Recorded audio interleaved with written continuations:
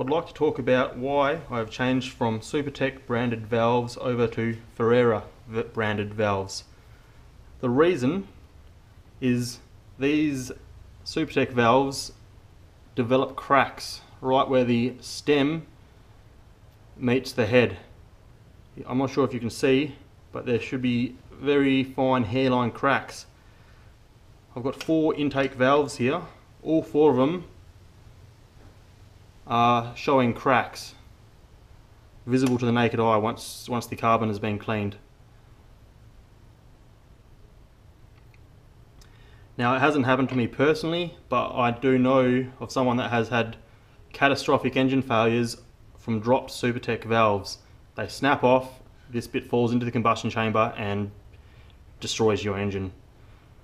Um, so knowing about that, I had actually already made the choice to switch to uh, Ferrea valves and go uh, one millimeter oversize, but the, the change of brand was because of that problem. Um, after I'd purchased them, uh, I'd pulled apart my old heads and actually inspected the Supertech valves and have found all of the intakes all are exhibiting cracking.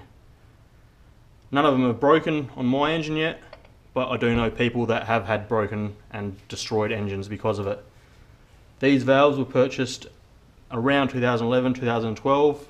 They've done very few uh, kilometres in the vehicle, but the vehicle has been used for motorsport. This is the sort of damage you could expect if one of the uh, Supertech valve heads snapped off inside a running engine. This is not my head, this is a head that was given to me.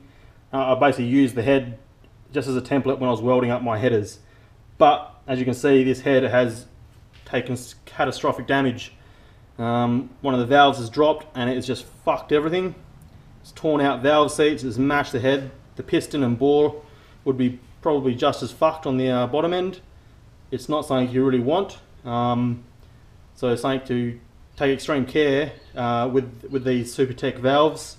Um, if you're going to be reusing them, I'd seriously give them a good inspection uh, in the areas that I've shown looking for cracks. But I probably wouldn't buy them. I wouldn't buy them again after knowing and seeing them firsthand and from other people's experiences of what they can do. Thanks for watching.